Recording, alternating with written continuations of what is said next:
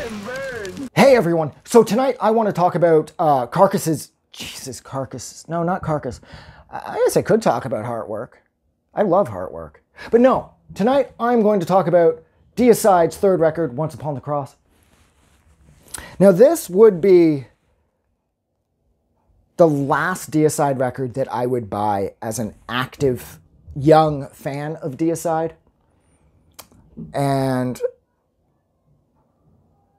even though this record is incredibly evil and satanic and it sort of checks all the boxes to make this like a total deicide record, this record feels a little more focused. It's like the evil is still there, but Benton and, and Asheim have the drummer, sorry, Steve, he's the main music.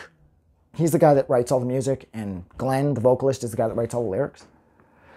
Um, you could tell that they'd sort of figured out that you know we could have a career here. Whereas I felt with the first two Deicide records, I felt like it was they were so genuinely evil that the guys in the band just didn't care about the idea of uh, uh, putting out music that would allow them to tour consistently. I really felt that with the first two records, it was like a bunch of really satanic dudes getting together in like a burnt out church somewhere and sacrificing something for Satan. Whereas with Once Upon the Cross, I get the vibe that they started to figure out that we could actually be building a career here where we might be able to make some money and maybe tour consistently off this crazy shit we're making. Because Once Upon the Cross, it feels more structured. It feels it feels like there's more of a formula at play, a formula that, that Deicide would tap into time and time again. Now, technically, that formula had been in place since their first record, but there's just something so wild and genuinely satanic and chaotic about their first two albums that technically the musical chaos still exists on this album, but it does feel more like it's a band figuring out that the careers might come first as opposed to Benton promising to kill himself for Satan at 33, like he had sort of boasted about doing throughout the course of the first two records. It felt more like this was a band of talented musicians who were starting to figure out that they might be able to support themselves off the music they were making. So, whereas the album cover is, it's got a covered Jesus on the cross who looks like he's been um, dissected.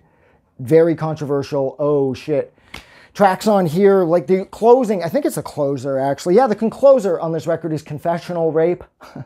so they're certainly not pulling any punches. Deicide uh, still has a serious hate on for Jesus, and I love that because that's exactly what I'm looking for from a band like Deicide.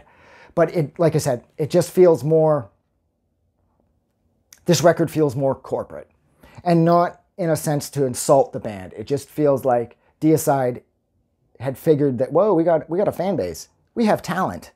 People care about us. Record labels consistently want to release our stuff. Maybe we should woe back on the sacrificial suicide and all that nonsense and focus more on the music. So, yeah.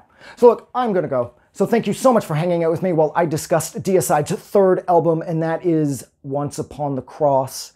Like always, if you liked this review, don't forget to do something nice for somebody. But most importantly, please don't forget that the world is a better place because you are in it. And yeah, I'm going to go and do something so fucking satanic, it's not even funny. Or I'm going to go listen to Spill the Wine by Eric Burdon and War for the 10,000th time. One of the two. It's either going to be Eric Burdon or Satan. I haven't made up my mind yet. Have a good night. I just wanted to say thank you for making it through the entire video. I really appreciate it. And I'm going to remind everyone one more time, even though I've probably already done this in the video that you just watched, to please click the like button as well as the subscribe button because it helps this channel grow. And thank you for hitting like and subscribe, and we will see you guys really soon.